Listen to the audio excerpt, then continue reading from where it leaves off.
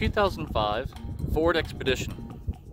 Customer said it just stopped running as he's driving. It just cut off. They have nothing to it.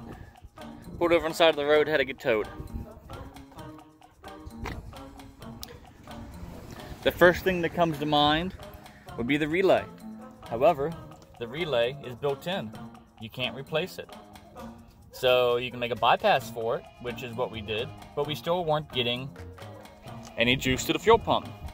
We pulled out the power, we got it here, but we don't have the pump. We pulled out the pump and it ran. You put power to it, it turns on, so we know it's not the pump. So in 05 and 06, they have this thing called a fuel pump module, modulator, whatever the hell it's called.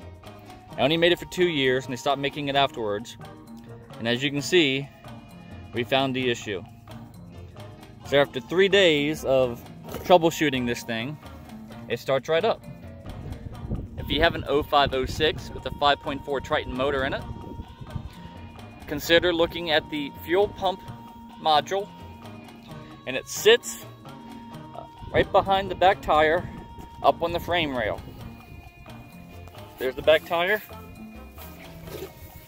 You can see the bolt right there. There's one, and then the rest of it is right there. And that's it. Just pop that out.